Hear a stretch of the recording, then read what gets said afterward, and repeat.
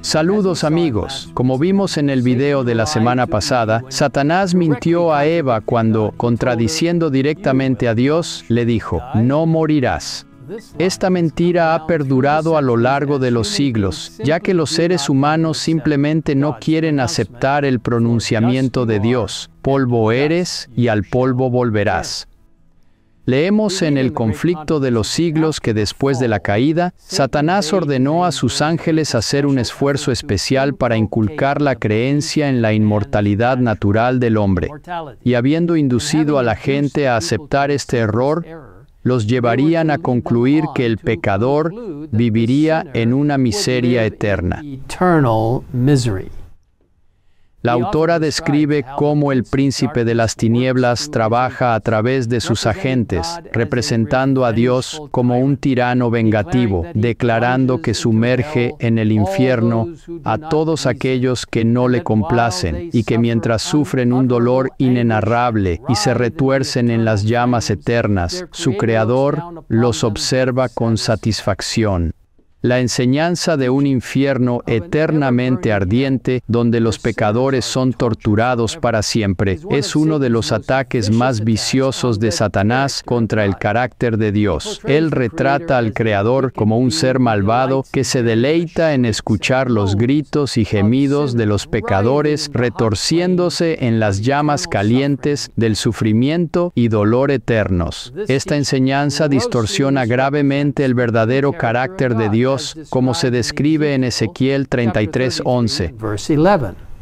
Vivo yo, dice el Señor Dios, que no me complazco en la muerte del impío, sino en que el impío se aparte de su camino y viva. Volveos, volveos de vuestros malos caminos. ¿Por qué habríais de morir? Otra enseñanza falsa sobre el estado de los muertos es que mientras los malvados van al infierno, los justos van directamente al cielo. Esto también contradice la palabra de Dios. Al describir lo que sucede cuando una persona muere, el Salmo 146.4 nos dice, Cuando su aliento se va, regresa a la tierra. En ese mismo día perecen sus planes. En otro lugar en los Salmos leemos, porque en la muerte no hay memoria de ti. En el sepulcro, ¿quién te alabará? Y los muertos no alaban al Señor, ni ninguno de los que descienden al silencio. El mismo testimonio se da en Eclesiastés 9, 6. Porque los vivos saben que morirán, pero los muertos no saben nada y no tienen más recompensa, porque su memoria ha sido olvidada. Su amor, su odio y su envidia ya han perecido, y para siempre no tienen más parte en todo lo que se hace bajo el sol.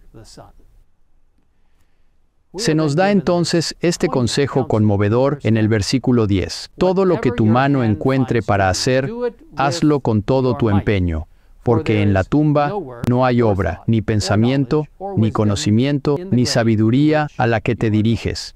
Mientras que al principio la idea popular de que los seres queridos están ahora en el cielo puede parecer reconfortante, si lo consideramos más profundamente, nos damos cuenta de que esa idea en realidad es muy inquietante. Considera esto desde el conflicto de los siglos. Según la creencia popular, los redimidos en el cielo están familiarizados con todo lo que sucede en la tierra y especialmente con las vidas de los amigos que han dejado atrás. Pero, ¿cómo podría ser una fuente de felicidad para los muertos conocer los problemas de los vivos, los pecados cometidos por sus seres queridos y verlos sufrir todas las penas, decepciones y angustias de la vida. Cuánto de la dicha del cielo disfrutarían aquellos que estuvieran vigilando a sus amigos en la tierra? Además, la falsa creencia de un alma inmortal niega la enseñanza bíblica de un juicio real. ¿Cuál es el propósito del juicio si una persona ya es enviada al cielo o al infierno al morir? Ellen White explica esto muy claramente en El conflicto de los siglos. Pero si los muertos ya están disfrutando de la dicha del cielo o retorciéndose en las llamas del infierno, ¿para qué necesidad de un juicio futuro? ¿Recibirán los justos, después de la investigación de sus casos en el juicio, la recomendación, bien hecho, siervo bueno y fiel, entra en el gozo de tu Señor cuando han estado morando en su presencia, quizás por largas edades? ¿Son los malvados convocados del lugar de tormento para recibir sentencia del juez de toda la tierra, apartaos de mí, malditos, al fuego eterno? No, amigos míos, esto no tiene sentido en absoluto. Además, la enseñanza de un alma inmortal se burla de la hermosa certeza de la esperanza de la resurrección ¿Por qué debería una persona ser levantada de la tumba si ya están en el cielo o en el infierno? La Biblia enseña que cuando una persona muere, se encuentra en un estado de inconsciencia, durmiendo el sueño de la muerte hasta que sean despertados por la voz de Dios. Esto se describe claramente en el maravilloso pasaje de las Escrituras encontrado en 1 Tesalonicenses 4, 13, 18, donde leemos, pero no quiero que ignoréis, hermanos, acerca de los que duermen, para que no os entristezcáis como los otros que no tienen esperanza. Porque si creemos que Jesús murió y resucitó, así también Dios traerá con él a los que durmieron en Jesús. Por lo tanto, les decimos esto por la palabra del Señor. Nosotros, los que estemos vivos y que quedemos hasta la venida del Señor, de ninguna manera nos adelantaremos a los que han muerto porque el Señor mismo descenderá del cielo con voz de mando, con voz de arcángel y con trompeta de Dios, y los muertos en Cristo resucitarán primero.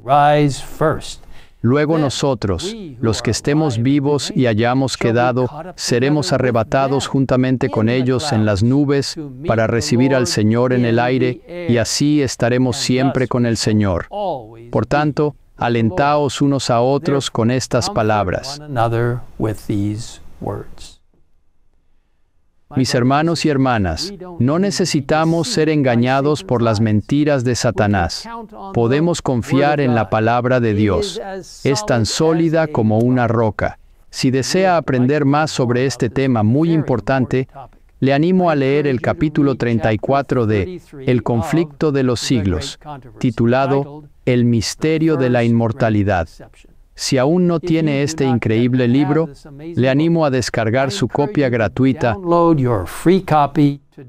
hoy en thegreatcontroversyproject.org. Amigos, Jesús viene pronto. A medida que nos acercamos a las últimas horas de la tierra, Satanás intentará engañar cada vez más. Pero no necesitamos ser engañados.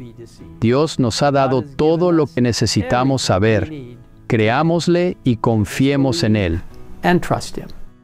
Te invito a orar conmigo en este momento.